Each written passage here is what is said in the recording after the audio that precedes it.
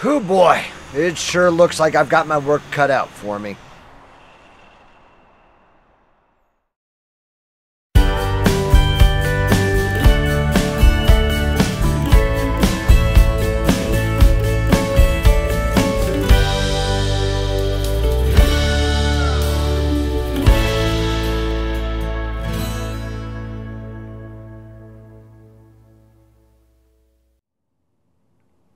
Hey friends, welcome back to Grand Adventure.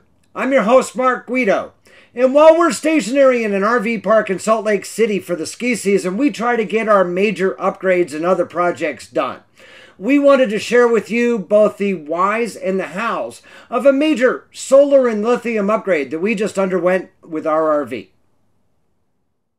You may recall that around this same time last year, we installed two 200 watt Renogy solar panels to supplement the 190 watt Go Power panel that KZ installed at the factory.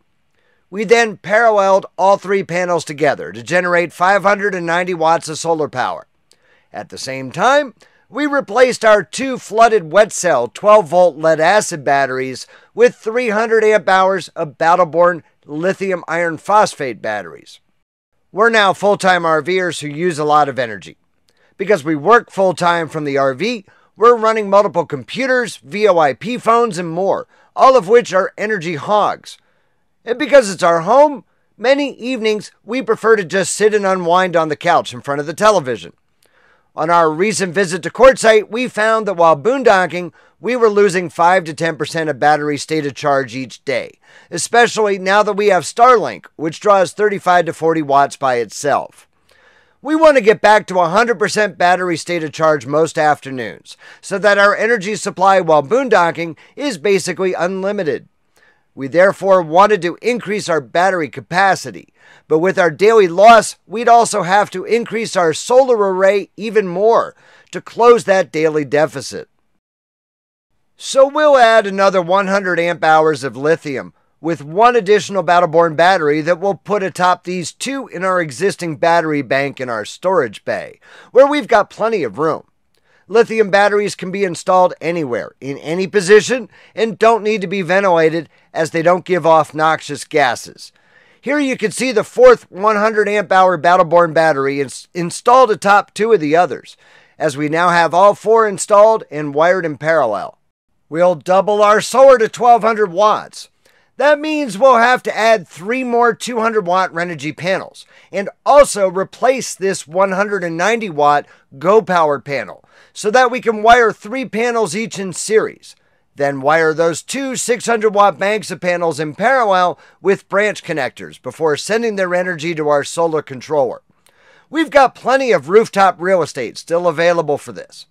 This also means replacing our inadequate solar controller installed in our Durango at the factory by KZ, a 30 watt PWM Go Power controller. We've opted to go with this Victron SmartSolar 150 100 solar controller. It's physically huge, but this will accept up to 150 volts from our solar panel and deliver up to 100 amps of charging current to our batteries. However, wiring the solar panels in series parallel, as we're doing, means a maximum potential current of 19.32 amps from solar panels to controller, which means that we won't need to replace our 10 gauge wiring from rooftop to our battery compartment. It also means a maximum 81 volts flowing through that wiring. Unlike a PWM solar controller, an MPPT solar controller can convert those excess volts into charging amps to our batteries. We've mounted the Victron controller as close to our batteries as possible. This can produce up to 100 amps of charging current flowing into our batteries. We've put a DC circuit breaker between our solar panels and our controller, which will also function as a disconnect switch. We've also placed another 120 amp circuit breaker between our solar controller and our batteries. It was difficult to cram everything in here and make everything perfectly level and straight, but we thankfully got it all to fit. Our former Go Power solar controller was mounted in the wall within our RV's living space, which left a gaping hole once it was removed. We've installed a Victron MPPT control in its place. This remote display provides everything we need to know about what's going on with our solar controller at a quick glance. Even though we could also pull out our phone and see the same information displayed in the Victron Connect app via the solar controller's Bluetooth connection. In order to fill the massive hole left in our wall by our old solar controller, we've fabricated a bezel out of Luan and stained it black to match, costing only a few bucks to complete. This phase 2 of our solar power system cost us north of 3000 bucks.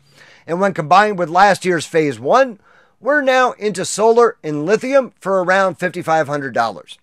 However, this will allow us to boondock as we prefer to do on public lands while in the West, while still silently meeting all of our power needs. When you factor in the cost of a paid campsite, we should recoup this investment fairly quickly our final phase three of our power project, slated for completion at some point this summer, will replace our 1200 watt DC to AC inverter with a 3000 watt inverter charger that, unlike our current setup, will power every branch circuit in our RV. If you'd like to replicate some of what we've done here, we'll put a link both here on the screen and down below in the video description to our Grand Adventure shop on Amazon where we list all of the products that we use and love ourselves in our daily RV lives. It's one stop shopping for the RV products that we've tested and verified here at Grand Adventure. But first, an important disclaimer we're playing with a lot of volts and a lot of amps of current here. We installed everything the best way we know how, but we're not electricians. Do your own due diligence when installing a solar power system and consult a professional where appropriate for installing things incorrectly without using the proper materials or implementing proper safeguards can have catastrophic consequences. So we truly hope that you found this video interesting. If you liked this episode of Grand Adventure, please be sure to give us a big thumbs up down below. And while you're down below, you'll find the comment section, and we always love to hear from you after each episode. We air new outdoor uh, RV adventure travel videos each and every Wednesday evening. So if you're not yet a grand adventurer, this is the time. Go smash that little red subscribe button down there in the lower right hand corner of your screen. And ring that notification bell to be sure that you come along on each and every grand adventure.